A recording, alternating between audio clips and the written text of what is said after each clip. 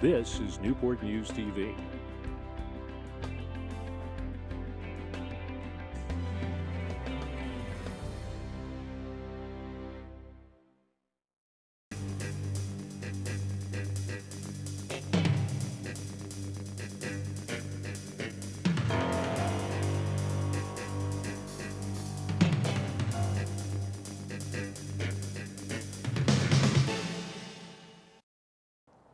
I'm Special Victims Unit Detective Jose Hernandez.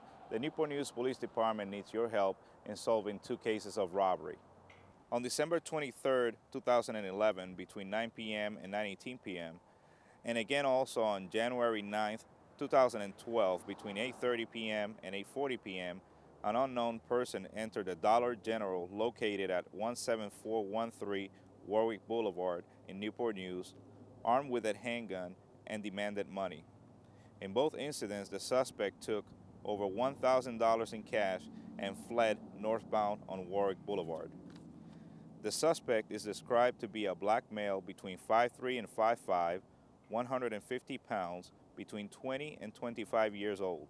He wore a black zip-up fleece or jacket. The suspect appeared to be small or slim in frame.